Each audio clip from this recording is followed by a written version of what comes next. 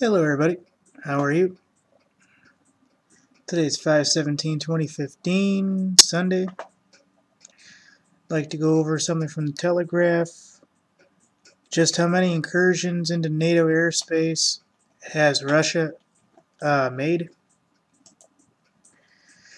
Basically, we know since about September of 2014, Russia stepped up its its flights and violations into the uh, channels and everything around England and Europe. This basically just goes over all the individual details as you can see. There's been a lot UK airspace going this way, around Norway, Sweden, Estonia, Finland, Russia.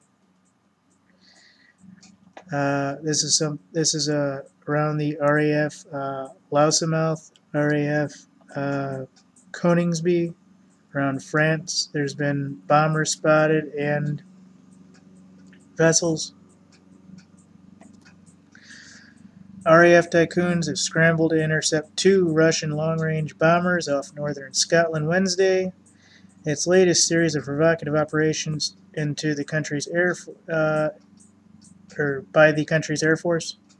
Tension between NATO and Russia have worsened since the Ukraine. We know about this. I'm just going to get into something fun. Uh, Russia's Tu-95 Bear bombers, strategic bombers capable of carrying the nukes, have been probing flights into the UK airspace about once a month. Ministry of Defense says Russian bombers have never violated Britain's sovereign airspace, which extends 12 nautical miles from the coast, and publicly regards them as more of a routine nuisance than a threat. This is good least they know their uh, their their borders and their boundaries. But defense officials have expressed mounting concern over the nature of the flights. Michael Fallon, uh, the then defense secretary, said appearance of bear bombers over Channel in February, which I believe I put up a video about, marked the first time they have been seen in the area since the height of the Cold War and basically they scrambled jets very quickly to see them off. And they did that basically for their protection and everyone else's. Let me see any of the major comments here. One second, let me get down to the comments. Here we go, comments. Uh, Luke Durasco says they're probing for weakness. Uh, so he said, between your ears, there's nothing that's happening at all. And this one saying, uh, this one from Michael Peters is saying, during the height of the Cold War, bombers were from Ukraine, Moldova, Belarus, Georgia, Kazakhstan, and any of the Baltic states. It's a huge mistake to compare Russia with the communist Soviet Union. They're not the same and do not have the same ideology. You're right. Russian soldiers are quitting, families are not being executed. These are not the same people. Uh,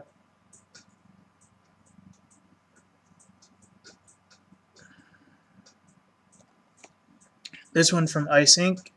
says Ministry of Defense says the Russian bombers have never violated Britain's sovereign airspace. Just two old Soviet-era uh, uh, Russian planes fly once a month toward the English Channel. The aforementioned has uh, knee conservatives frothing at the mouth, priceless. Just reading as it's written. Dave says, so can you now put up the number of daily illegal overflights of Russian, indeed Soviet airspace since the uh, Bear U-2 Blackbird flights, which goes on. While the Soviet Union sent its special to work as in the West to learn about their targets, we sent armed military units. The NATO plan was always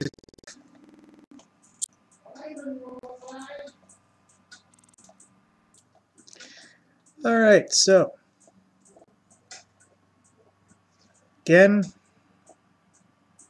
This is coming from the Telegraph.